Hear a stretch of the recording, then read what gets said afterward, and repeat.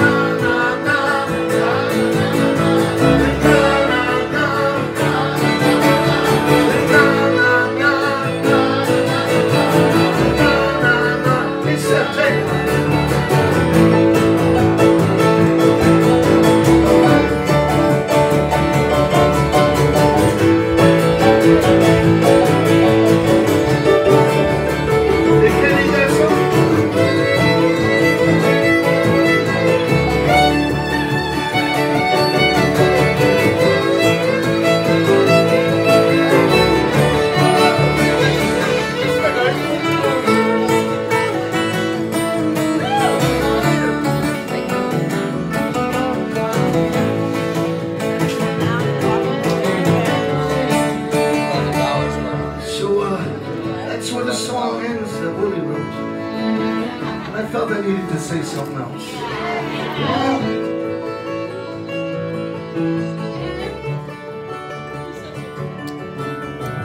Woody Guthrie only had one guitar. Pete Seeger only had a banjo. Bobby Dylan and Bruce Springsteen, they got one guitar. And dear Harry Chapin, he had one too. My brother Willie Nile's got one guitar. On a night like tonight, I get one. I believe in the power of one guitar. I believe in the power of one voice. But I believe a lot more in the power of ten guitars. And the power of a hundred voices. And the power of a thousand guitars.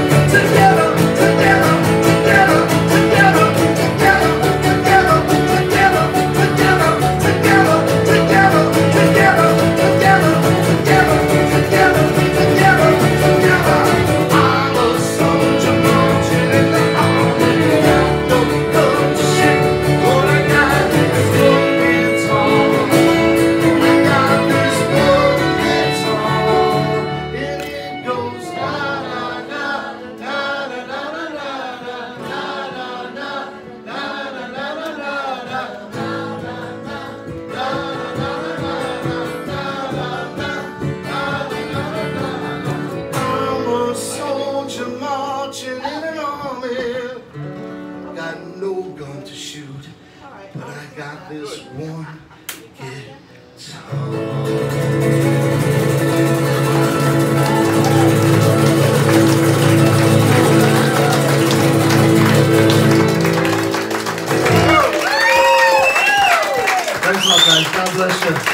Mick Mule, the mighty mule coming up.